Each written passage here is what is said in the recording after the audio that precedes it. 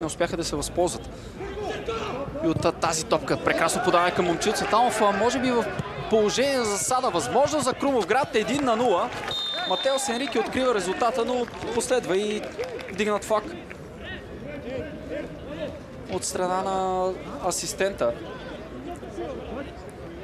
Георги Минев. Струва ми се това повторение не убеждава в правотата на